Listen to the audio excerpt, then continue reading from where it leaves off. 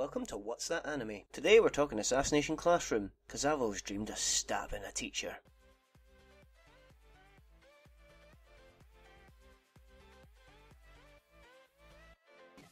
Assassination Classroom is a comedy action manga written and illustrated by Yusei Matsui. The anime adaptation began airing in Japan back in January 2015 and has since been licensed by both Funimation and Madman Entertainment for international release. In such a short time, it's even had a live action film adaptation, but that's a topic for another video. So for now, we'll just focus on the show. Assassination Classroom begins with Earth under threat by a mysterious creature who has just destroyed 70% of the moon with its overwhelming destructive power. No, not that kind of power. After doing so, the creature announces that in a year's time he will also destroy the Earth in the same way. He offers Earth a chance to save themselves if they allow him to work at Kunigaoka Junior High School as the homeroom teacher of Class 3E, the class which is regarded by the rest of the school as the students who have no future. World leaders accept his offer and in turn offer a 10 billion reward to whoever among the students is successful in killing their new teacher. The story progresses through the school year following Class 3E and their multiple attempts to kill the creature who they refer to as Koro Sensei, using increasingly ridiculous methods which most often result in comedic failure. Killing Koro Sensei proves to be a difficult task not only because of his powers of regeneration and super speed, but also because he turns out to be the best teacher they've ever had, teaching them not only the typical school curriculum, but also the deadly arts of assassination. Alongside Koro Sensei, the kids are also taught by Tadaomi Karasuma, a government worker associated with the Ministry of Defence,